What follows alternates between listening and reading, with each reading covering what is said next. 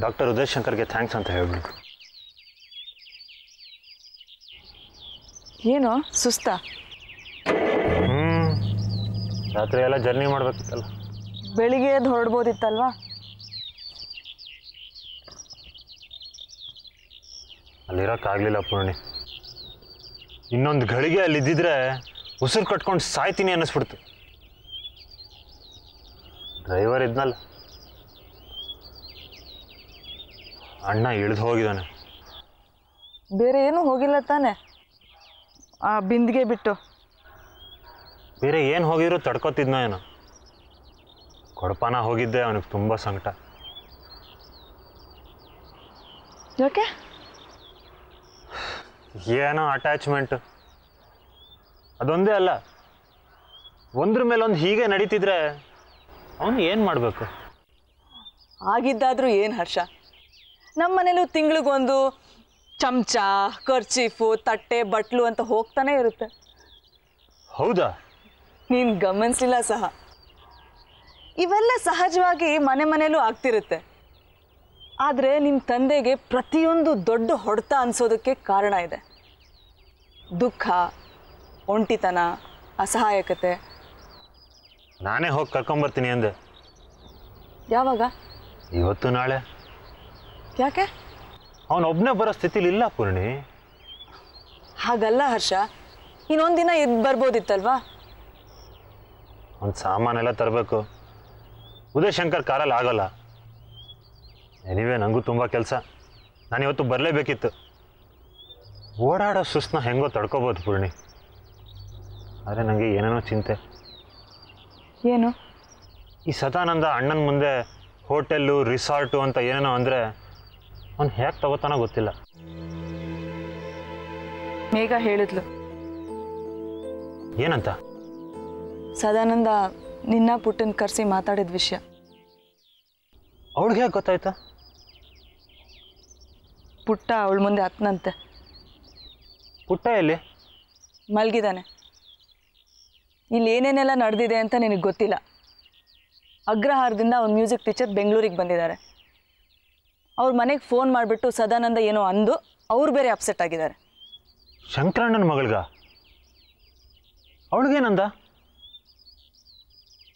ಅವರು ಇಲ್ಲಿ ಫೋನ್ ಕೂಡ ಮಾಡಬಾರ್ದು ಪುಟ್ಟನ ಜೊತೆ ಮಾತು ಆಡಬಾರ್ದು ಅಂದು ಅವ್ರಿಗೂ ಅವಮಾನ ಮಾಡಿ ಗೋಳು. ಈ ಪುಟ್ಟನಿಗೆ ಮೊದಲೇ ಕೋಪ. ಈಗ ಸದಾನಂದ ಮನೆಗೆ ಹೋಗಲ್ಲ ಅಂತ ಹಠ ಇಟ್ಕೊಂಡು ಕೂತಿದ್ದಾನೆ. ನಾನು ಆದಷ್ಟು ಸಮಾಧಾನ ಮಾಡಿ ಇಲ್ಲೇ ಇರೋ ಹಾಗೆ ಮಾಡಿದ್ದೀನಿ. ಹರ್ಷ ನಿಮ್ಮ ಅಗ್ರಹಾರ ಮನೆ ವಿಷಯದಲ್ಲಿ ನಾನು ತಲೆ ಹಾಕಲ್ಲ. ಆದರೆ ಒಂದು ಮಾತು ಹೇಳ್ತೀನಿ. ಆಸ್ತಿ, ಪಾಲು, ಹಿಸ್ಸೆ, ಹಕ್ಕು ಎಲ್ಲ ಕಾಗದ ಪತ್ರಗಳಿರುತ್ತವೆ ಅದಕ್ಕೆ ನನ್ನ ನಿನ್ನ ಅಭಿಪ್ರಾಯ ಮುಖ್ಯ ಅಲ್ಲ. ಆದರೆ ಅದನ್ನು ಮೀರಿದ ನ್ಯಾಯ ಇದೆ. ನೀವು ಊರು ಬಿಟ್ಟು ಬಂದವರು. ನಿಮ್ಗೆ ಅದು ಬೇಕಿಲ್ಲ. ಪುಟ್ಟನಿಗೆ ಅದು ಬೇಕು. ಅಂದಮೇಲೆ ನಿನಗಾಗಲಿ, ಸದಾನಂದ್ಗಾಗಲಿ ಅದನ್ನ ಕಿತ್ಕೊಳ್ಳೋ ಹಕ್ಕಿಲ್ಲ. ನಾನು ಅಷ್ಟೇ ಹೇಳೋದು. ಮುಂದಿಂದು ನಿಮಗೆ ಬಿಟ್ಟಿದ್ದು.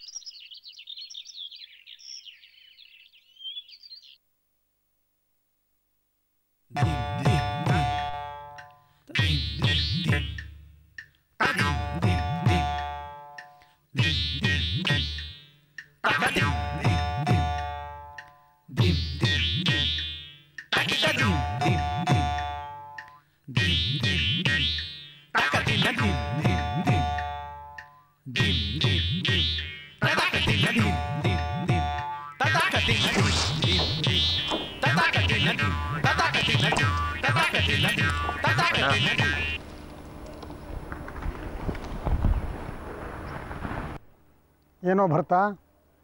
ಎಲ್ಲಿ ಓಡೋಗಿದ್ದೆ? ನಾನಿಲ್ಲಿರೋದು ಅಮ್ಮಂಗೆ ಗೊತ್ತಿಲ್ಲ. ಈಗ ತಾನೇ ಊಟದೊತ್ತಿಗೆ ಬರ್ತೀನಿ ಅಂತೆಲ್ಲ ಹೋದ್ಲು. ನಾನು ಅವಳನ್ನ ಮಾತಾಡ್ಸಲ್ಲ. ನೀನು ಆ ತೀರ್ಮಾನ ತೊಗೊಳೋದು ಕಷ್ಟ ಇಲ್ಲ ಬಿಡು. ಅವಳು ನೀನು ಮಾತಾಡ್ಸೇ ತಾನೆ? ಇನ್ನೂ ಸಿಟ್ಟಾಗಿದ್ದಾಳ. ಮತ್ತೆ? ಬಾಯಿ ಬಂದಾಗ ಮಾತಾಡಿದ್ರೆ? ನಿನಗೇನು ಗೊತ್ತು ನನ್ನ ಕಷ್ಟ. ನಂಗೆ ಅರ್ಜೆಂಟಾಗಿ ಹಣ ಬೇಕಿತ್ತು. ಇಲ್ಲಿ ಟ್ಯಾಕ್ಸಿ ನನ್ನ ಹಿಂದೆ ಬಿದ್ದಿದ್ದಾನೆ. ಅವ್ನಿಗೆ ಹನ್ನೆರಡು ಸಾವಿರ ಕೊಡ್ಬೇಕು ನಾನು. ಈಗ ಮತ್ತೆ ಮುಂಬೈಗೆ ಹೋಗಿ ಬರೋಕ್ಕೆ ಇನ್ನೂ ಹನ್ನೆರಡು ಸಾವಿರ ಬೇಕು. ಹದಿನಾರು ಲಕ್ಷ ರೂಪಾಯಿ ಖರ್ಚು ಮಾಡಿ ಹನ್ನೆರಡು ಸಾವಿರಕ್ಕೆ ಒದ್ದಾಡ್ತಾ ಇದೆಯಲ್ಲೋ ಹದಿನಾರು ಲಕ್ಷ ಖರ್ಚು ಮಾಡಿದ್ದಲ್ಲ ವ್ಯಾಪಾರದಲ್ಲಿ ಬಂಡವಾಳ ಹೂಡಿದ್ದು.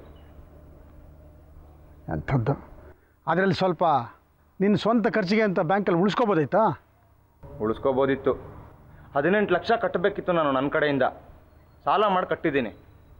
ಬಂಡವಾಳ ಇದ್ದರೆ ಹೂಡ್ಬೋದು. ಇಲ್ಲದೇ ಇರೋ ಬಂಡವಾಳ ಎಲ್ಲಿಂದ ಹೂಡೋದು? ಒಂದು ಕಡೆ ಹಣ ಹೂಡಿ ಲಾಭ ಮಾಡ್ತೀನಿ ಅಂತೀಯ. ಇನ್ನೊಂದು ಕಡೆ ಸಾಲ ಮಾಡಿ ನಷ್ಟ ಅನುಭವಿಸ್ತೀನಿ ಅಂತೀಯ. ನಷ್ಟ ಕಮ್ಮಿ ಲಾಭ ಜಾಸ್ತಿ. ಸಾಲದಿಂದ ಬಡ್ಡಿ ನಷ್ಟ ಅಷ್ಟೇ. ಆದರೆ ವ್ಯಾಪಾರದಲ್ಲಿ ಅದರ ಲಾಭದ ಪ್ರಮಾಣ ಅದಕ್ಕಿಂತ ಹೆಚ್ಚು. ಈಗ ಮಾರ್ಕೆಟ್ ಡೌನ್ ಇದೆ. ಈಗ ಶೇರ್ ತಗೊಂಡ್ರೆ ಅಗ್ಗವಾಗಿ ಸಿಗತ್ತೆ. ಮಾರ್ಕೆಟ್ ಸರಿ ಹೋದ್ಮೇಲೆ ಡಬಲ್ ಆಗತ್ತೆ ಅದ್ರ ಮೌಲ್ಯ ಅಂತಾರೆ ಸಾಂಗ್ವಿ ಬಾಯಿ. ಎಂಥದ್ದು ವಿವೇಕವಿಲ್ಲದ ವ್ಯಾಪಾರ. ಅಣ್ಣ ನಂಗೊಂದು ಐವತ್ತು ಸಾವಿರ ಸಾಲ ಕೊಟ್ಟಿರ್ತೀಯ? ನನ್ನ ಹತ್ರ ದುಡ್ಡಿಲ್ಲ. ನಂಗೆ ಅರ್ಜೆಂಟಾಗಿ ಬೇಕಿತ್ತು. ಬರ್ತಾ ಬಸ್ಸಲ್ಲಿ ಓಡಾಡಿದರೆ ಸಾವಿರ ರೂಪಾಯಿ ಮುಗೀತಿತ್ತು. ಟ್ಯಾಕ್ಸಿ ಬೇಕಿತ್ತಾ? ಫ್ಲೈಟಲ್ಲಿ ಓಡೋ ಅಗತ್ಯ ಏನಿತ್ತು? ಅದೇನೋ ಮಾರ್ಕೆಟು ಸುಧಾರಿಸತ್ತೆ ಅಂದ್ಯಲ್ಲ? ಸುಧಾರಿಸ್ಲಿ. ಆಮೇಲೆ ಹೋಗು. ಅಣ್ಣ, ನಾನು ಅರ್ಜೆಂಟಾಗಿ ಹೋಗಲೇಬೇಕು. ನಾವು ಶೇರ್ ತೊಗೊಂಡಿರೋ ಒಂದು ಕಂಪ್ನಿ ಮೇಲೆ ಇನ್ಕಮ್ ಟ್ಯಾಕ್ಸ್ನವರು, ಸಿ ಬಿ ಐನವರು ದಾಳಿ ಮಾಡಿದ್ರಂತೆ. ಸಾಂಗ್ವಿ ಬಾಯ್ ಫೋನ್ ಮಾಡಿದ್ರು, ಅರ್ಜೆಂಟು ಅಂತ. ಹತ್ತು ಸಾವಿರ ರೂಪಾಯಿ ಆದರೂ ಕೊಡ್ತೀಯಾ?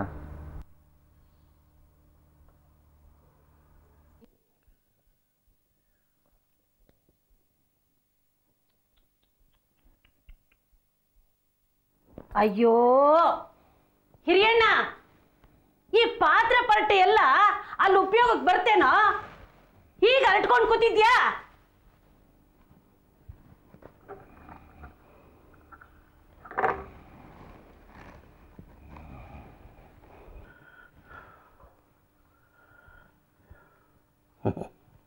ಈ ಫೌಂಟನ್ ಪೆನ್ನು ನಾನು ರಿಟೈರ್ ಆದಾಗ ನಮ್ಮ ಡಿಪಾರ್ಟ್ಮೆಂಟ್ ನೌಕರರು ನನಗೆ ಕೊಟ್ಟಿದ್ದು.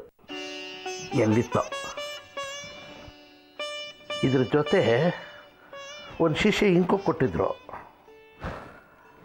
ಭಾರಿ ದುಬಾರಿದು ಎಲ್ಲ ಕಾಣಿಸ್ತಾ ಇಲ್ಲ. ಇದೆಲ್ಲ ಯಾತಕ್ಕೋ ವಿದೇಶಕ್ಕೆ ಹೋಗ್ತಿಲ್ಲ ನೀನು? ಎಲ್ಲ ಬೇಕಿಲ್ಲ. ನನ್ನ ಪುಸ್ತಕಗಳು ನನ್ನ ಬಟ್ಟೆ ಆ ಬೀರು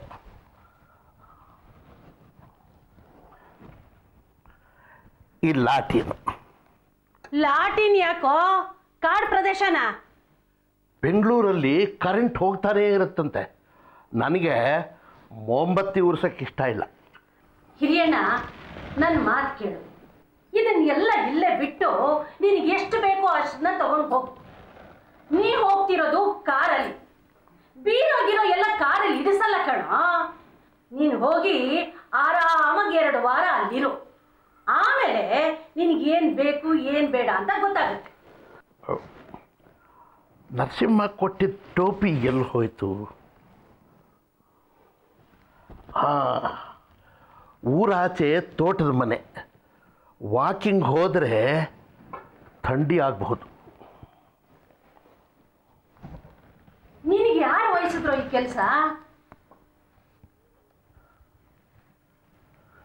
ಸಾವಿತ್ರಿ, ನೀ ಬೆಂಗಳೂರಿಗೆ ಬಂದಾಗ ಬಾ ನೋಡೋಕ್ಕೆ. ಸುಭಾಷ್ ನಗರದ ಬಸ್ ಸ್ಟ್ಯಾಂಡಿಂದ ನೇರ ಬಸ್ ಇದೆಯಂತೆ ಅವನ ಮನೆಗೆ. ಬೇಕಿದ್ರೆ ನಾನು ಅವನ ಮನೆ ಬಸ್ ಸ್ಟಾಪ್ ಹತ್ರ ಕಾಯ್ತಾ ಇರ್ತೀನಿ. ನೀನು ನನಗೊಂದು ಫೋನ್ ಮಾಡಿದ್ರೆ ಸಾಕು. ಆ ಬಸ್ ನಂಬರು ಏನೋ ಹೇಳ್ತಾ ಇದ್ದ. ಹರ್ಷ ಬರಲಿ, ಕೇಳಿ ತಿಳ್ಕೊಳ್ಳೋಣ. ನಾನೆಲ್ಲಿ ಬರೋದು ಅವ್ರಿಗೆ ಊರಿಗೆ. ಮದುವೆಗಿದ್ವಿ ಮದುವೆ ಗಿದ್ವೆ ಆದರೆ ಬರಬೇಕು. ಕೋಳಿ ಗೂಡು ಹಾಗೆ ಮನೆಗಳು. ಅಲ್ಲಿ ಬಂದು ನಾನು ಎಲ್ಲಿ ಅಂತ ಹೇಳ್ಕೊಳ್ಳಿ. ನನ್ನ ಮಗಳ ಮನೆನೂ ಇದೆ. ಆದರೆ ಅಲ್ಲಿ ಕೂರ ಜಾಗ ಇಲ್ಲ.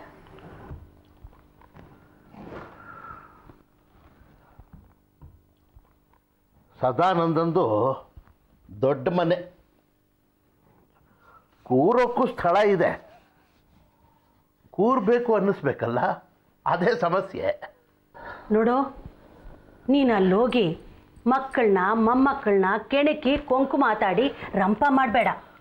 ನಾನು ಯಾಕೆ ಮಾತಾಡಲಿ ಸಾವಿತ್ರಿ? ನಾನಾಯಿತು ನನ್ನ ಪುಸ್ತಕ ಆಯಿತು. ಮತ್ತೇನು ಬೇಡ ನನಗೆ. ನೀನು ಸುಮ್ಮನೆ ಇದ್ರು ನಿನ್ನ ಬಾಯಿ ಸುಮ್ಮನೆ ಇರುತ್ತಾ? ಏನಾದರೂ ಅಂದೇ ಇರೋನ ನೀನು?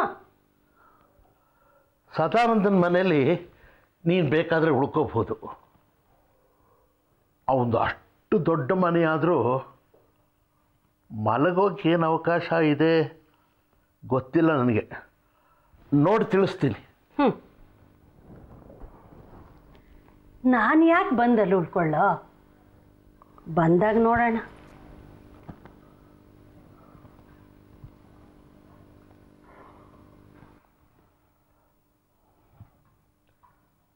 ತೋಟ ನೋಡ್ಕೊಳ್ಳೋದನ್ನ ಕಾಂಟ್ರಾಕ್ಟ್ ಕೊಟ್ಟಿದ್ದೀನಿ ಅಂತ ಅಂದ ಹರ್ಷ. ಯಾರನ್ನು ಕೇಳಿದಾನೋ ನನಗೆ ಗೊತ್ತಿಲ್ಲ. ಆದರೆ ಈ ಗುಡಿಲಿ ಪೂಜೆ ನಿಲ್ಬಾರ್ದು ಅಂತ ಅಂದಿದ್ದೆ. ಅದಕ್ಕೆ ಅವನು ಏನು ಹೇಳಲಿಲ್ಲ ಆ ಪಾರಿವಾಳಗಳು ಅಷ್ಟೇ. ಅಕ್ಕಿ ಹಾಕಿದ್ರೆ ಇರುತ್ತವೆ. ಇಲ್ಲದೆ ಇದ್ರೆ ಬೇರೆ ದಾರಿ ನೋಡ್ಕೊಳತ್ವೆ.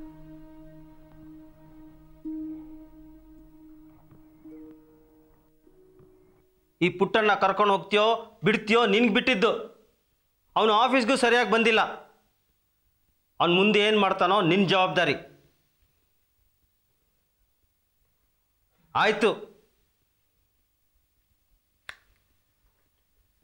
ಬನ್ನಿ ಇಬ್ಬರು ಕೂತ್ಕೊಳ್ಳಿ.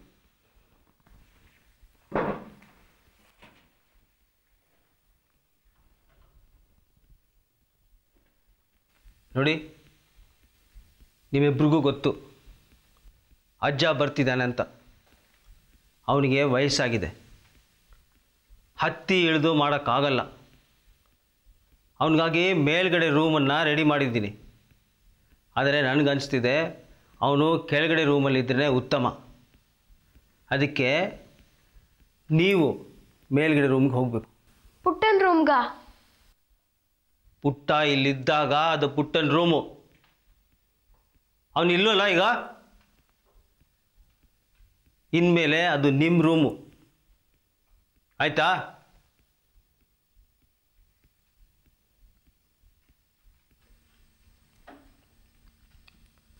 ಅಲ್ಲಿ ಇಂಟರ್ನೆಟ್ಟೇ ಬರಲ್ಲ. ಶವರೂ ಇಲ್ಲ. ಕಿಟಕಿನೂ ಹಾಕೋಕ್ಕಾಗಲ್ಲ. ರಾತ್ರಿ ಸೊಳ್ಳೆ ಬರುತ್ತೆ. ಇವಳು ಫ್ಯಾನ್ ಹಾಕೋಕ್ಕೂ ಬಿಡಲ್ಲ. ಫ್ಯಾನ್ ಹಾಕಿದ್ರೆ ನನ್ನ ಬಾಯಿ ಒಣಗತ್ತೆ. ನೋಡಿ ಇದನ್ನೆಲ್ಲ ಮುಂದೆ ಮಾಡೋಣ. ಇಂಟರ್ನೆಟ್ಟು ಹಾಕೋಣ. ಆದರೆ ಈಗಿಲ್ಲ. ಸಾಕ್ಷಿ ಎಕ್ಸಾಮ್ ಆದಮೇಲೆ. ನಿಮ್ಗೆ ಅಷ್ಟು ಇಲ್ಲೇ ಇರಬೇಕು ಅಂದರೆ ನಾವೇ ಮೇಲೆ ಹೋಗ್ತೀವಿ. There is no need to spoil them ನಾವೇನು ಹೋಗಲ್ಲ ಅಂದಿಲ್ಲ. ಹೋಗ್ತೀವಿ. ಆದರೆ ಇಲ್ಲಿ ಏನೇನು ರೂಲ್ಸ್ ಪಾಲಿಸ್ತಿದ್ರೋ ಅದನ್ನೆಲ್ಲ ಅಲ್ಲೂ ಪಾಲಿಸ್ಬೇಕು. ಗೋಡೆಗೆ ಮೊಳೆ ಹೊಡೆಯೋ ಹಾಗಿಲ್ಲ. ಏನು ಅಂಟಿಸೋ ಹಾಗಿಲ್ಲ. ಗಲೀಜ್ ಮಾಡೋ ಹಾಗಿಲ್ಲ. ಯಾಕೆ? ಯಾಕೆ ಅಂದರೆ ಮಾಡಿಕೂಡ್ದು. ಹೇಳಿರ್ಲಿಲ್ವಾ? ಸಾವಿರಾರು ರೂಪಾಯಿ ಖರ್ಚಾಗುತ್ತೆ ಪೇಂಟ್ ಮಾಡೋಕ್ಕೆ ಅಂತ. ಪುಟ್ಟಣ್ಣ ಬಂದರೆ ಅವನು ಅಲ್ಲೇ ಇರ್ತಾನ? ಪುಟ್ಟನ್ ವಿಚಾರನ ಬಿಡು. ಅವ್ನು ಬಂದಮೇಲೆ ನೋಡ್ಕೊಳ್ಳೋಣ ಮಹಾರಾಜ. ನಂಗೆ ಇಂಟರ್ನೆಟ್ ಬೇಕಾದರೆ ಇಲ್ಲೇ ಬಂದು ಯೂಸ್ ಮಾಡ್ಬೋದಾ? ನನ್ನ ಲ್ಯಾಪ್ಟಾಪಲ್ಲಿ ವೈರ್ಲೆಸ್ ಇದೆ. ನನ್ನನ್ನು ಕೇಳಿ ಬಳಸ್ಬೋದು.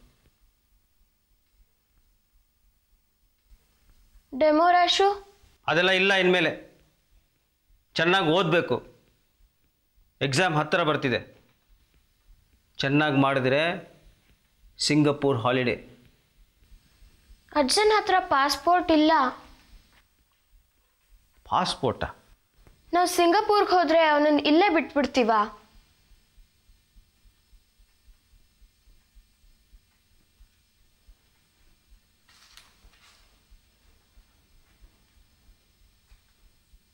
ಪುಟ್ಟಣ್ಣನ ಹತ್ರನೂ ಪಾಸ್ಪೋರ್ಟ್ ಇಲ್ಲ.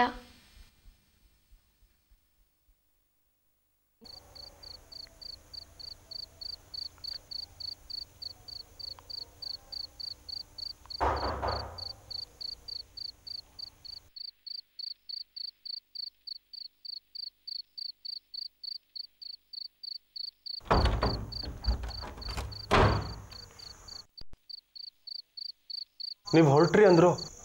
ಯಾರು? ನಿಮ್ಮ ಮೆಸ್ಸಿಗೆ ಫೋನ್ ಮಾಡಿದ್ದೆ. ನಿಮ್ಮ ಮೊಬೈಲ್ ಸಿಗಲಿಲ್ಲ ಅದಕ್ಕೆ. ನನ್ನ ಮೊಬೈಲ್ ಫೋನ್ನ ಸರೆಂಡರ್ ಮಾಡಿದ್ದೀನಿ. ನಾನು ಮನೇಲೇ ಇರೋಳು. ನನಗೆ ಯಾಕೆ ಮೊಬೈಲ್ ಫೋನು?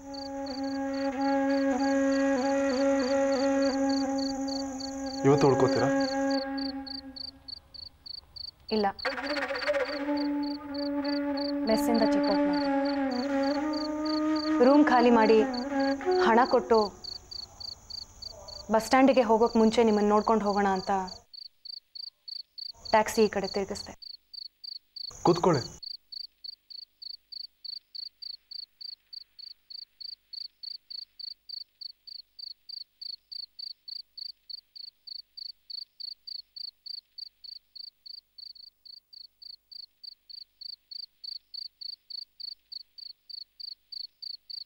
ಸದಾನಂದ ಮಾಡಿದ ತಪ್ಪು. ಅದರಿಂದ ನಿಮಗೆ ಅವಮಾನ ಆಗಿದೆ ಅಂತ ನನಗೆ ಗೊತ್ತು. ನನಗೆ ಅವಮಾನ ಮಾಡೋದಕ್ಕೆ ಪ್ರಯತ್ನ ಪಟ್ಟರು ನಿಜವಾಗ್ಲೂ ಅವಮಾನ ಆಗಿರೋದು ನಿಮಗೆ. ನಿಮಗೆ ಅದು ಅನ್ನಿಸ್ಲಿಲ್ಲ ಅಂದರೆ ನಿಮ್ಮ ಒಳ್ಳೆತನ ತೋರಿಸತ್ತೆ.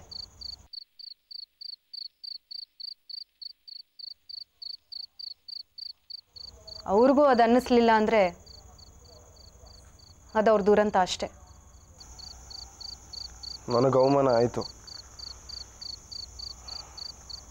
ಆದರೆ ನನಗೆ ಅವಮಾನ ಆಗ್ತಲೇ ಇರುತ್ತೆ.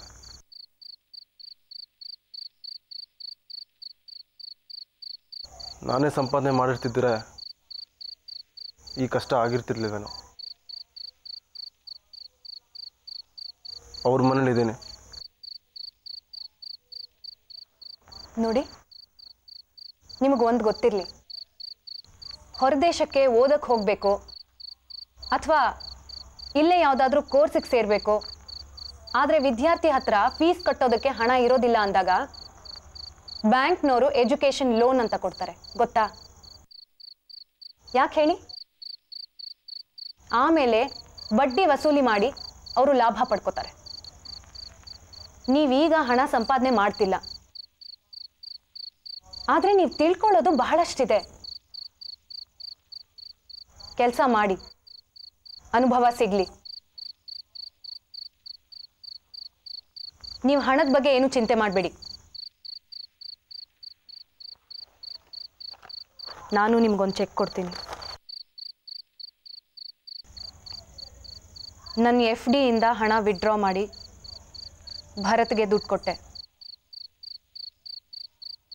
ಉಳಿದಿದ್ರಲ್ಲಿ ನಿಮಗೆ ಎರಡು ಲಕ್ಷ ರೂಪಾಯಿ ಕೊಡ್ತಾ ಇದ್ದೀನಿ. ನಿಮಗೆ ಬೇಕಾದ ಹಾಗೆ ಖರ್ಚು ಮಾಡಿ.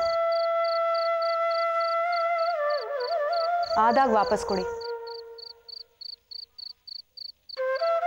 ಬಡ್ಡಿ ಕೊಟ್ಟೆ ತೀರಿಸಿ.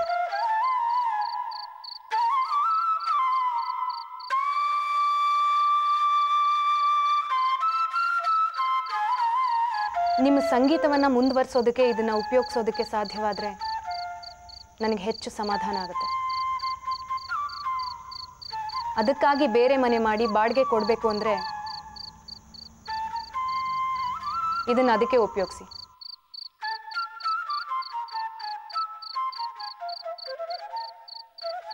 ನಿಮ್ಮ ಅಣ್ಣ ಫೋನ್ ಮಾಡಿ ಹಾಗೆ ಮಾತಾಡಿದ್ದು ತಪ್ಪು ಅಂತಂದ್ರಿ.